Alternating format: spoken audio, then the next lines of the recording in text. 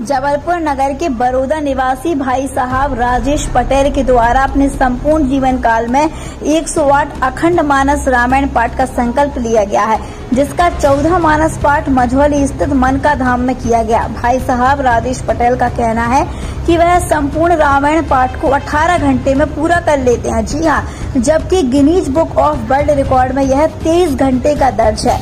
राजेश पटेल की मनसा Guinness book of world record में नाम दर्ज कराने की है। इसको लेकर भी लगातार प्रयासरत हैं। राजेश पटेल ने कहा कि अखंड रामायण पाठ में वह एक बार बैठते हैं तो 18 घंटे तक ना तो कुछ खाते पीते हैं और न ही किसी प्रकार की शारीरिक क्रिया को अंजाम देते हैं। 18 घंटे एक स्थान पर बैठकर वह लगातार पूरे रामायण पाठ को पूरा करते हैं और संपूर्ण जीवन काल में उन्होंने 108 रामायण पाठ का संकल्प लिया है, जिसका 14 मानस पाठ ये मझौली स्थित बनका धाम में पूरा किया है। जबलपुर से संवाददाता दीपक अवस्थी की खास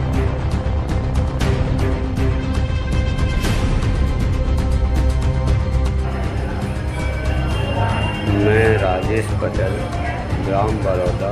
थाना पनंगा जिला जबलपुर से आज बागेश्वर धाम स्थान पहुँचा हूँ, जो कि मैं अपने संकल्प के 108 पाद का जो संकल्प किया उसका चौदहवा पाद का समय संयोग आज बागेश्वर धाम में स्थान मिला है।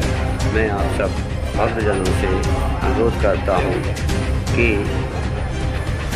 सब मुझे आशीर्वाद दें कि मेरा प्रण, मेरा संकल्प पूरा हो सके। जय श्री राम, जय जय श्री राम।